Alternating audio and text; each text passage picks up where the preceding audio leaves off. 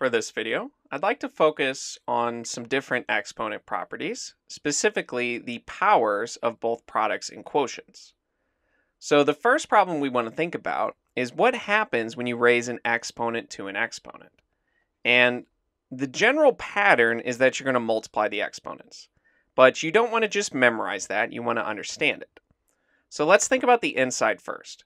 2 to the third power. That is 2 multiplied by itself three times, and then we're going to square that.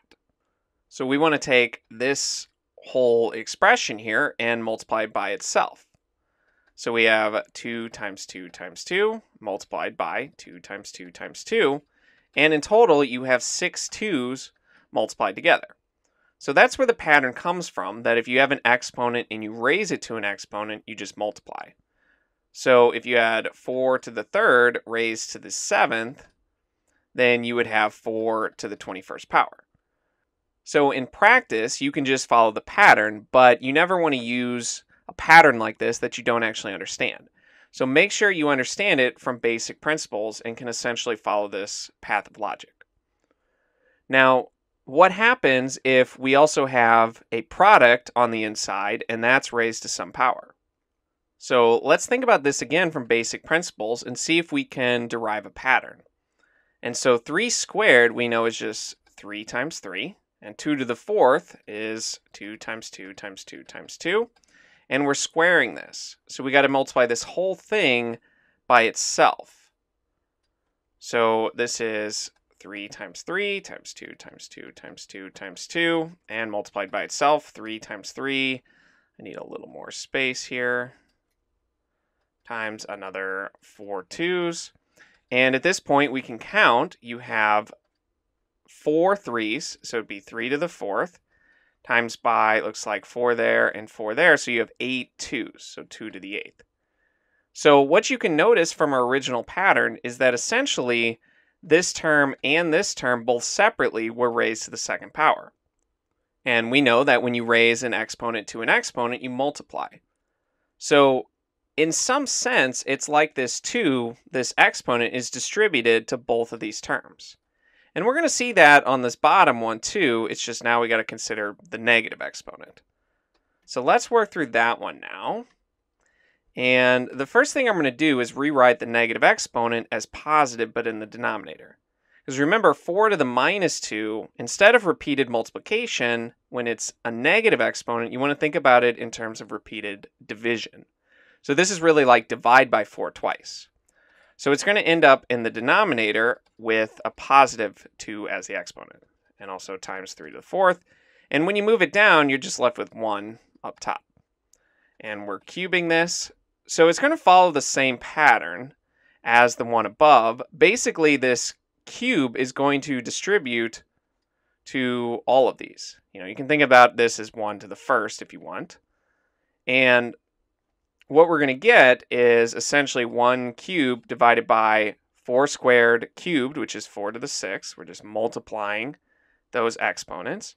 And 3 to the 4th cubed would be 3 to the 12th. And if we want, well, first of all, we can rewrite the 1 cubed as just 1. But if we want, we can put them in the numerator with negative exponents. So that's possible as well. So this would become 4 to the minus 6 times 3 to the minus 12. Because if it's positive in the denominator, then when it goes to the numerator, it becomes negative, and vice versa. Because remember it from this side, 3 to the minus 12 just means divide by 3 12 different times. But if you want a better sense of essentially why this cube goes to all of these different factors here, you could just do what we did for the second example rewrite this. Let me make a little space here. Rewrite this expression as 1 over 4 times 4 times 3 times 3 times 3 times 3. And it's cubed, so we'll have to write this out three different times. So you have that first one, second one, and third one. And so essentially you have three times as many of the 4s and three times as many of the 3s. So you'd have six 4s in total two from each of these, and you'd have 12 threes in total. Four here, four here, and four here, which is exactly what we got in the bottom. But also notice you didn't necessarily have to rewrite this as a positive exponent. I just did that to make more sense of what's going on. The, from the beginning, the 3 essentially distributes to both of them.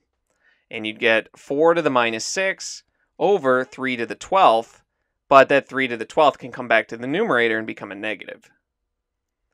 Okay, let's start going through some different examples now from the exercises. So we got to select the equivalent expression and let me just rewrite it. So we have 3 to the third times 6 to the sixth, all raised to the minus 3. So in essence, when it's raised to the minus 3, we're going to divide by this expression three times. So it really becomes 1 over 3 to the third times 6 to the sixth raised to the positive 3 power. And let's go through this one from basic principles, and the next ones we'll just apply the rule. So in the denominator, we would have this expression multiplied three times. But let me first expand what this expression looks like. 3 to the third is just 3 times 3 times 3. 6 to the sixth, well, there are six sixes multiplied together. And then we're going to cube that expression. So I'm not going to write all that out, but basically you're going to get 1 over this thing three different times. And from each of them, you have three threes and six sixes. So in total, you're tripling each of the amount of uh, these numbers. So you'll have nine threes and you'll have 18 sixes.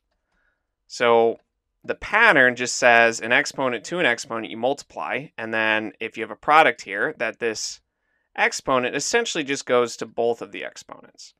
So you get 3 to the ninth and 6 to the 18th which you could rewrite with negative exponents as 3 to the minus 9 times 6 to the minus 18.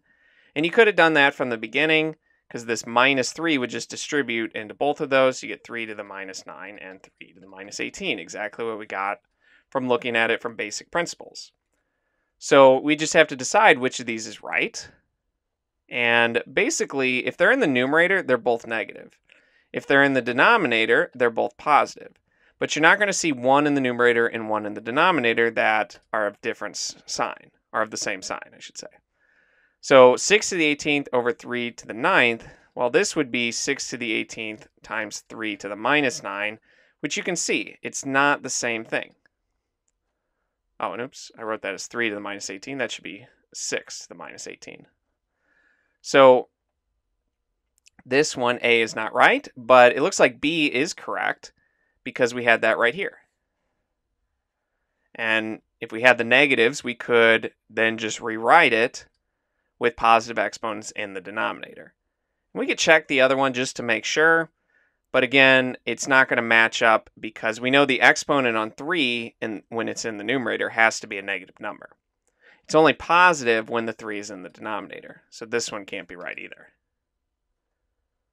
Okay, let's move on to another problem. Very similar one. So now I'm just going to apply the rules. Exponent raised to an exponent, you multiply. So we have x to the fourth over 7 to the minus 8, all raised to the minus 7. So this exponent, this negative 7, is going to distribute to the top and the bottom. In the top, you get x to the minus 28. And in the bottom, you get 7 to the 56th power. And there are a couple ways we can write it. We can put both in the numerator. You can have x to the minus 28th times 7 to the minus 56, because it was in the denominator as a positive, and so it'll go in the numerator as a negative exponent. Or we can put them both in the denominator and make them positive. So you'd have a 1 up top, and then it would be x to the 28th, because x to the minus 28 in the numerator is essentially divide by x 28 times.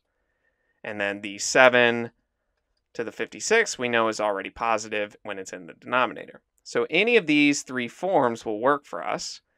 And let's see, it looks like when they're both in the numerator, they're both negative, so that would be choice B, so that one's right.